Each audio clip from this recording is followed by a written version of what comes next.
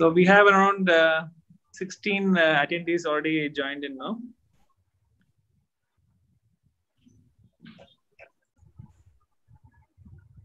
Sriram, you sent the invite to all the students? Yes, sir. Okay.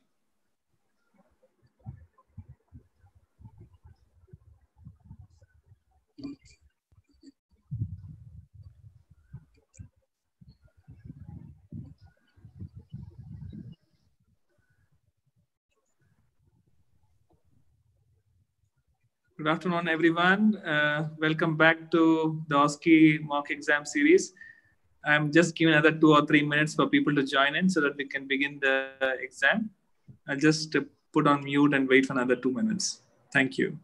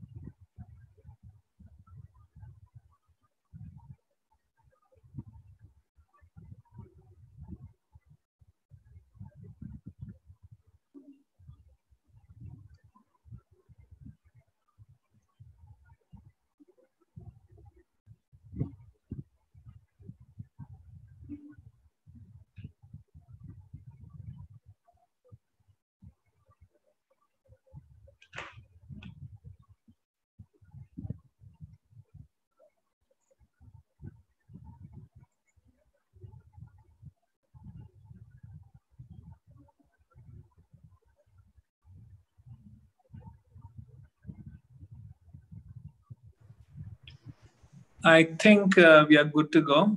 So what we are trying to do is uh, try to simulate uh, some more OSCE stations today, uh, just to make sure you have some practice to give uh, this sort of evaluations and to sit through for 20, 25 questions is a challenge because we have got uh, used to not sitting in one place and doing so many other jobs at the same time. So trying to be patient and being glued to the seat for two hours plus is something that we must achieve. So in the same direction, we have generated around 20 stations today I'm trying to get one more uh, assessment today and tomorrow. So uh, tomorrow and day after. So that means uh, Friday we, we think we should stop it. Uh, it's less than one week for you guys to give the exam. So any further uh, queries or uh, any problem that you have, you can always get in touch with us.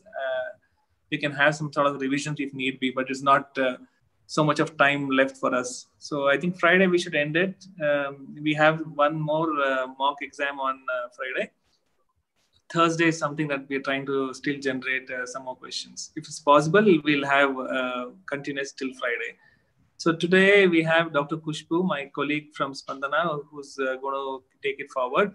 Um, she is going to explain uh, the ground rules for uh, the mock exam, which is going to be very similar to what happens in a DNB exam. So at the end of the um, two hours, I think uh, we're going to send you the answer keys. So if there are any issues, please get in touch with us for discussion. Whatever answers you write uh, may be different from what we pulled out also. Make sure you have good references. Uh, in the same way, when you look at DNB exam, you, you're going to write the uh, answer sheets and send it to them. So the subject experts uh, in psychiatry would be two of them uh, who would have given them the keys. And all the interpretation is going to be done based on the keys that's provided by experts. So there's hardly any room for discussions. And uh, the best way is to know our theory well and to know the practical aspects of managing the case, patient well. So just to get in tune with all these uh, systems, uh, I think we're going to generate the stations, send you the keys at the end of it for you to just uh, read on those selected readings and uh, clarify your doubts also. Over to you, Kushbu. Thank you, sir. Uh, best of luck to everyone. now we're going to start with the exam. I would like all of you to be prepared, keep a glass of water with you. Uh, and please keep your phones away, no cheating. It's for you. You should be giving it in the whole uh, spirit of exam. Uh, can you see my screen? Sir, is it visible? Yeah, yeah, it's visible. Okay, sir. So this is a uh, mock exam for the people who have given DNB theory in December 2019. Some basic rules for this exam, which are similar to the ones which you are going to give later. So today we are going to have 20 stations, one rest after every seven station. The stations are going to be three minutes uh, for now, but for the final exam, it's going to be five minutes. There are eight marks per station. So today's total marks would be only 160, but your final exam would have 200 marks allotted to these kind of OSCE stations. These are unmanned uh, OSCE stations. So in the final exam also, it is going to be a projection of these questions and they'll be operated through video conferencing. The answer sheets would be given for each station at their respective uh, exam centers and after every station, the answer sheet would be taken away. So you whatever time you have, that is a five minutes time, is that for that station, you cannot go back to the station again. The time that is left will be displayed on your screen and each station may or may not contain one or more slides. Okay, you cannot go back to the question after time is over. So let's start with the whole exam and best of luck. So the first station is Kushbu, I also wanted to just add one more thing. Um, during the exam, what they've told is uh, uh, there'll be a camera from behind, one camera from uh, uh, the front, just, to make sure the invigilation is also central, and uh, there'll be a login that's given, and the invigilation is going to be central. And once you sit through, you'll not be able to get up and go, and your phone is taken away till the last student leaves the exam after the completion of practicals. So even though you are finished, the last student has to exit. Uh, and the questions will be similar across uh, the DNB centers in India. So they don't want anybody to share any of the material that was discussed. So they want you to be without a communication device. So phones will definitely be taken away. Thank you. Go ahead, Kushbu. Yes, sir. This is the first station.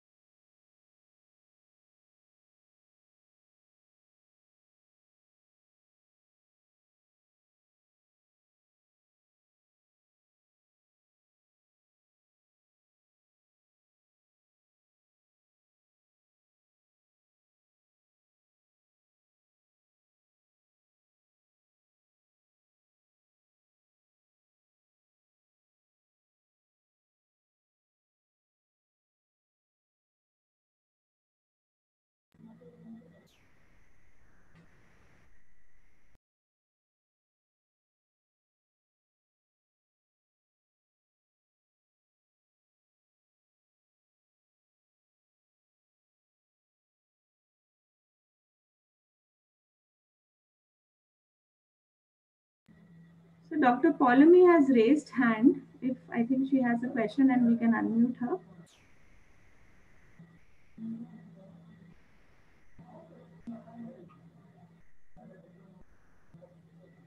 I, I'm not sure whether you can unmute.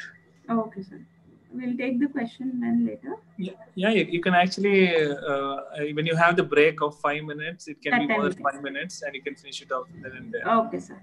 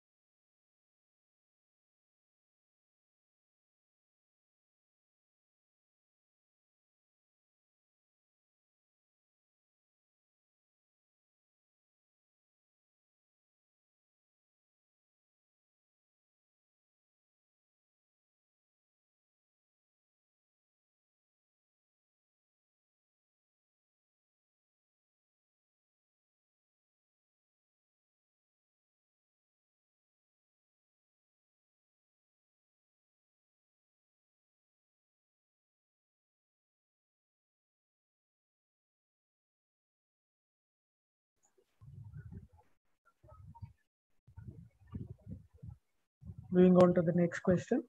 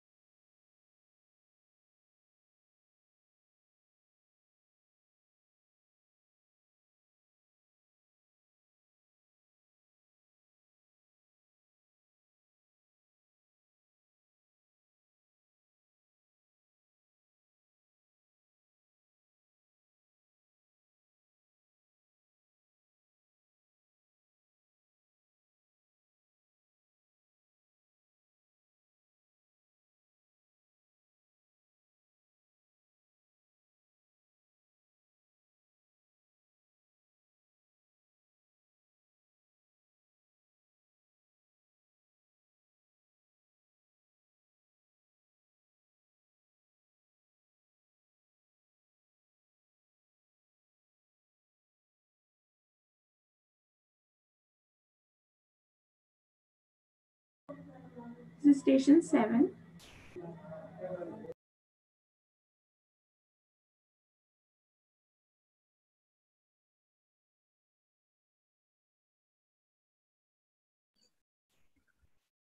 Madam, the timer has stopped.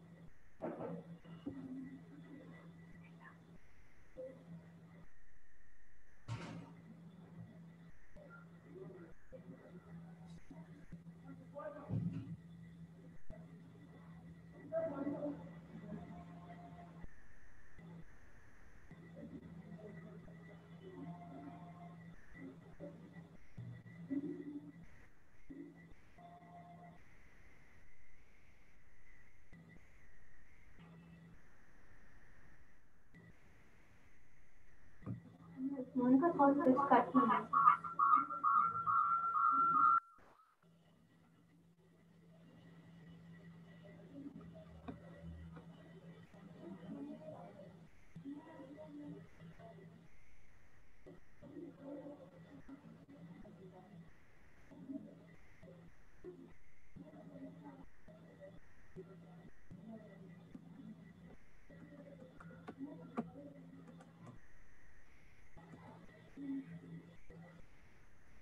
Sorry for that. Uh, can we go to the next question, station eight?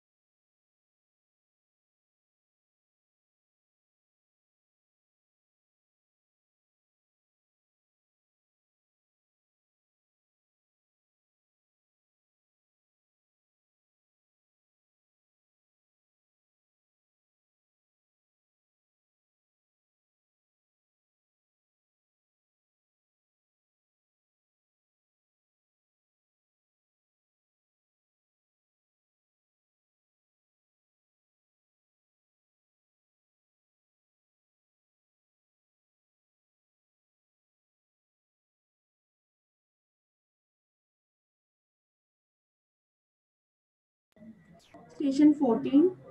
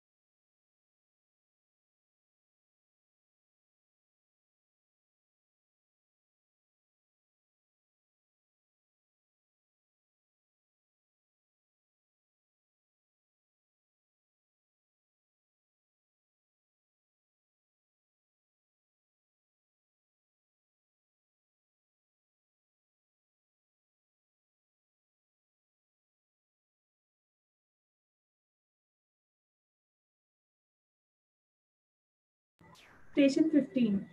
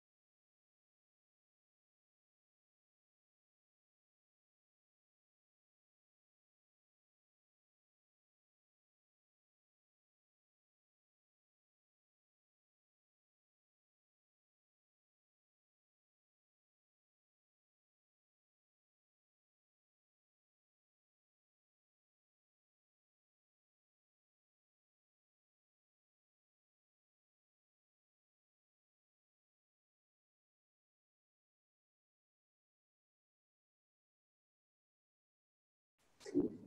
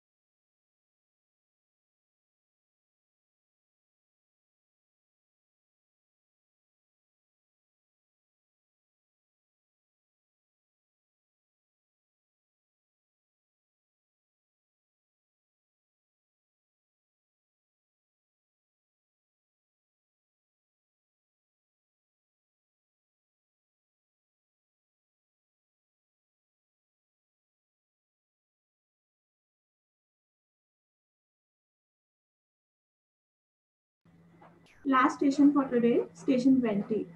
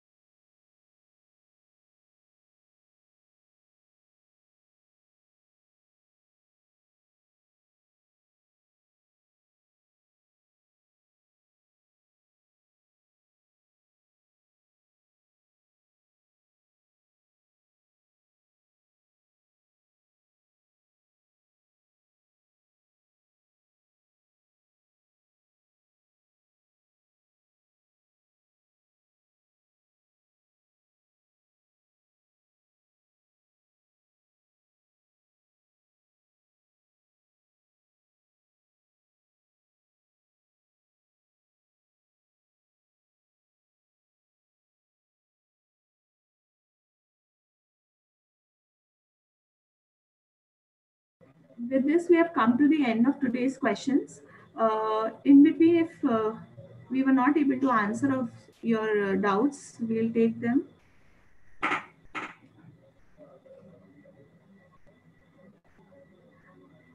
Mr. Sriram? Yes, ma'am. Ah, uh, I think uh, two doctors raised their hands in between the uh, presentation. Dr. Polamy and one more doctor was raising the hand. If you can.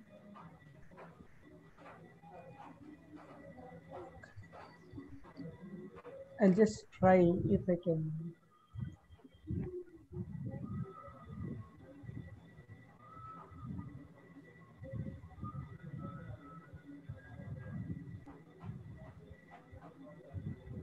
Uh, Dr. Paulumi is not there now.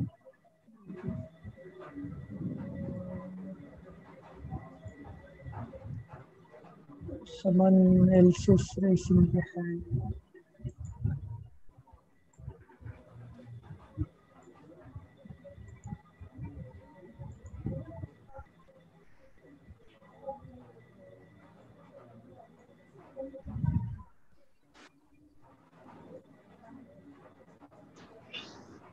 Dr. Sumati has a question. Can we?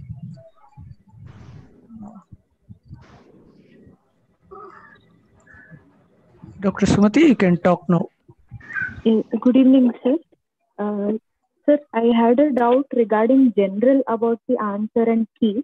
that if we write uh, three points, if we have asked, for example, in one question, whether it's management or any pre-test, if we write more than that, like four or five, is there anything that they'll consider first three or whichever is right?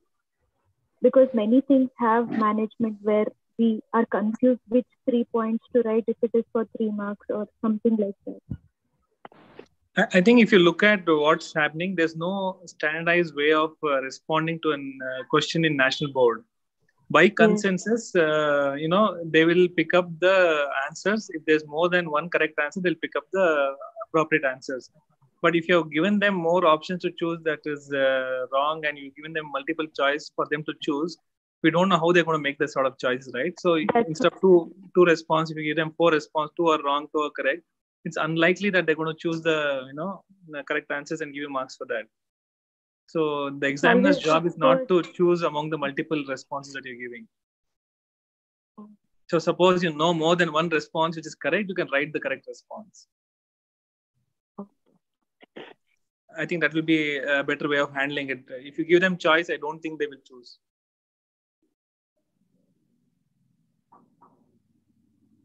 Unless the national board comes with the norms and says that uh, if you write uh, three answers, out of which one is correct, I'll choose the right answer. Till that time, I think this is the format that we must follow. Please give in the correct responses only.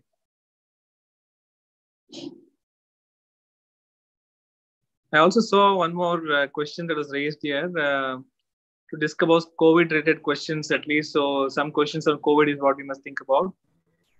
Uh, I think we can do that. Uh, during writing pharmacological management, should we write class of drugs that is SSRI with benzodiazepine or specific drug names? I think it's always good to write a class and also write the specific drug that you're talking about. And uh, when you're talking SSRI with benzodiazepine, I think combination generally not um, the preferred uh, you know combinations is what not uh, you know the, is not what they prefer. It's good to uh, have a particular class of medication. Talk about the specific molecule that we want to discuss about in the class of medications. I think these are the only two questions that is there in the chat box. There's one uh, that was there in the uh, question answer, but I think I've answered that. They want to know what is the uh, you know uh, questions that they're going to ask in Viva and things like. So everything is going to be included.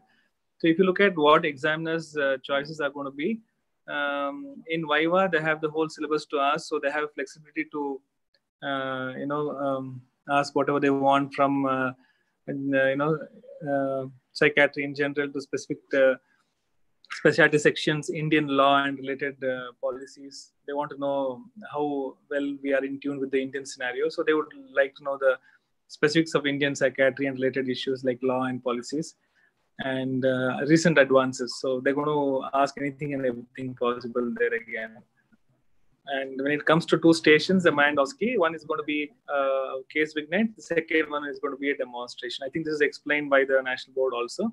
I think it's good to prepare uh, for all this 300. OSCE is the best chance for you to score the maximum. The other things will be variable because the examiners are going to be there. Depends on the moment of your answers there. Some sort of subjective variations can make it uh, difficult for you to predict.